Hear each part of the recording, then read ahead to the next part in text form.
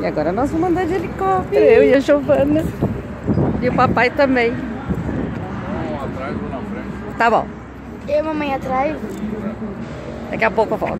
Olha eu aqui preparada. A Giovana ainda vai preparar agora. Cheio de apetrecho.